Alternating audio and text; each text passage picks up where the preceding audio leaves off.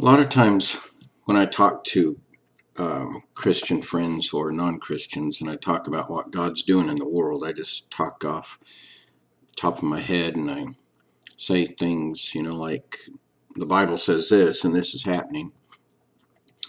And so I'm just going to kind of talk that way now, okay? There are things happening in the world Scripture says that we wrestle not against flesh and blood, but against principalities and powers and, you know, demonic powers in high places. I'm going to paraphrase a lot because I'm going to talk just like I'm talking to a friend, okay? Today on the news, on um, NBC News, they were saying that there was a huge bank robbery through cyberspace, and what they did is they hacked into um, I'm not sure what type banks or whatever. But they hacked into financial institutions and got prepaid Visa card numbers. And they took these millions in numbers and made bank cards out of them after hacking into these institutions. And they had people all over the world taking money out of ATMs with these cards. And when they hacked in, they took away the um, withdrawal um, restrictions. So they could withdraw just tons of money out of these ATMs. And they stole just millions and millions of dollars. Now, if you think about it, all these things happening in the world, the identity theft, this theft that happened today, all these um, hackings into computers. You have terrorists going out and buying stuff to make bombs. Um, you have people getting on airplanes that they say we can't trust and stuff like that. And they check everybody before they get on planes and they are ridiculous about it. And they're making 80 year old women take their shoes off and stuff like this. And it's ridiculous. But if you look at reality, we wrestle not against flesh and blood. This is not humans uh, that have inspired this. People talk about the Illuminati and the Masons and all this stuff, and there is a place to talk about that stuff. But after you study it thoroughly, you find out that it goes beyond that. It goes beyond the Catholic Church and the Masons and the Illuminati and the Bilderbergers and all that. It is beyond that it is beyond um, any one nation, even. It is beyond the human nations. It is God bringing about the revelation of Jesus Christ. That's what the book of Revelation is actually about, and people tend to forget that. It's about Jesus revealing himself and returning. It is also about the seals that Jesus will open in order to bring this about. And it also says that God allows the fallen angel, the devil, he's called Satan, and he's the serpent, and God allows him to do certain things to bring about a one world government. And the mark of the beast and is happening quickly.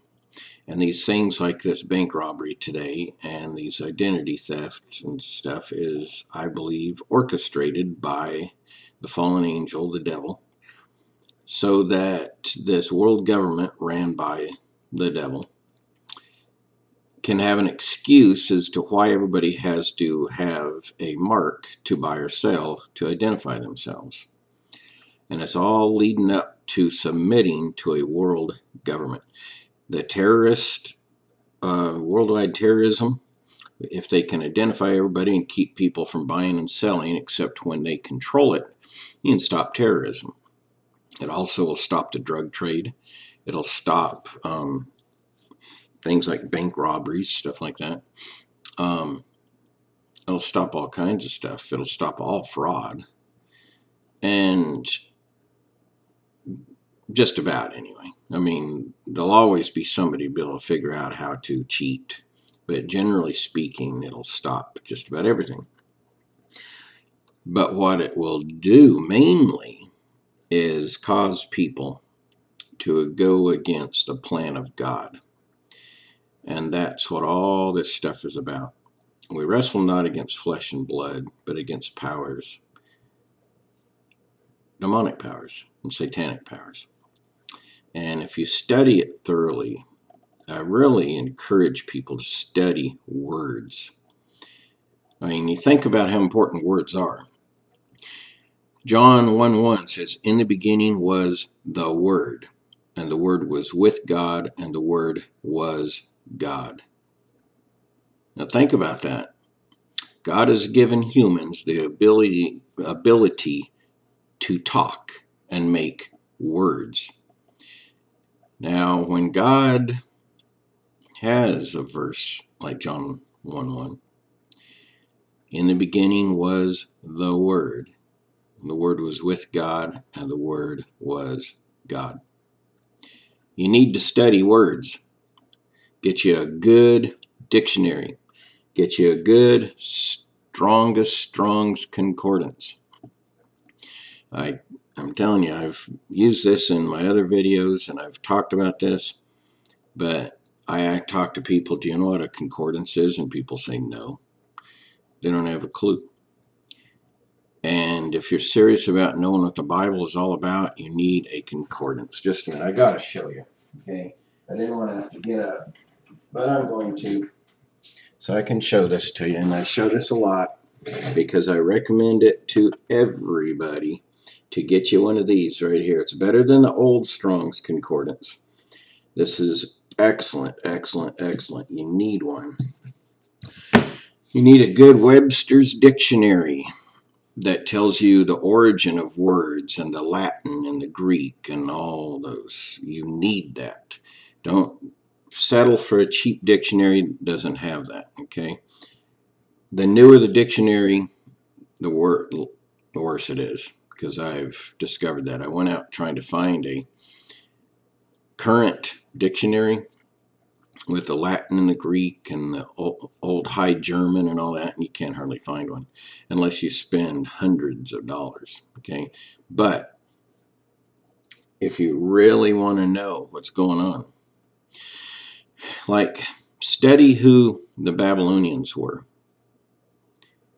Most people don't even know. You can figure it out with your Bible, with the strongest Strong's Concordance.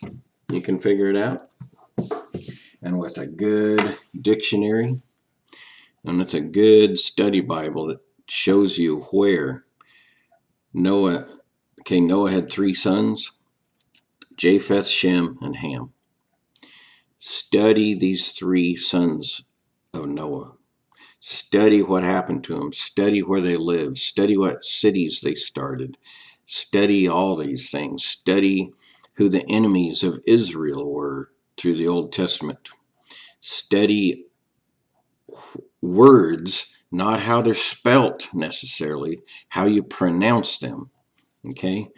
Uh, you'll learn all kinds of stuff if you do that. Ignore how words are spelt most of the time. Sometimes you have to. But if you pay attention to how you pronounce words, you'll it'll hope, open your eyes a whole new world of what's actually going on in prophecy, in the spirit world, in what is actually running nations, what is actually running everything. You'll be amazed what you find. Um, so, like the word male, you have M A L E and M A I L, both of them pronounced the same, but um, I mean, they're spelt different, but they're pronounced the same. And because they're pronounced the same, you can learn all kinds of stuff as to why you have a postal service and why they deliver the mail. And it's amazing what you can find. Okay. Um, you have the word Horus. You have, it's a false god Horus from the Greeks and Romans. You have the all-seeing eye of Horus on the back of the dollar bill. It's all-seeing eye of Satan. It's all-seeing eye of the occult. But Hor, Horus. Okay, you have the whore of Revelation in chapter 17. Okay, and you have whore us, whore US, United States of America is Mystery Babylon the Great, the whore of Revelation 17. And it just so happens it's called whore us, whore US. And I, I know people are going to say, yeah, right. No, I don't care if people think that. You can learn this stuff. It's amazing if you start looking up the Greek and things like that. How many words have US in it that points to what the United States is actually doing in the spirit world, why the United States is doing stuff according to the spirit world.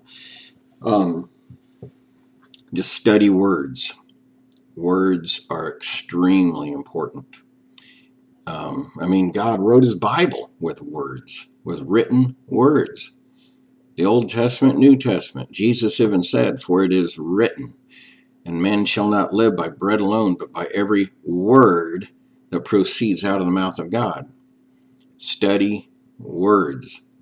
It'll open your eyes and make time to do it. People say, I don't have time.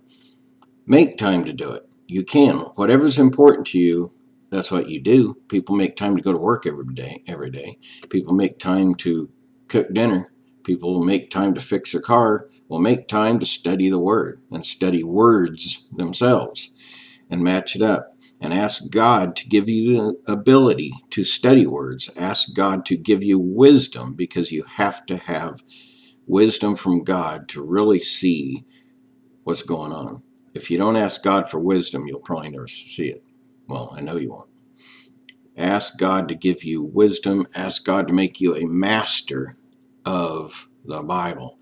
Ask God to make you a master of His Word so that you will know it thoroughly and study it and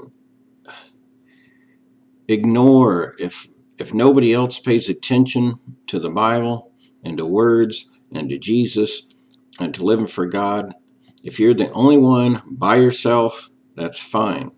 Just live for God. Because what you'll find is when you really get serious about God, you're by yourself. And that's the truth. It is really difficult to find somebody that is very serious about God, especially in America. Okay? So, anyway, I just thought I'd talk off my sleeve here. God bless you and have a good day.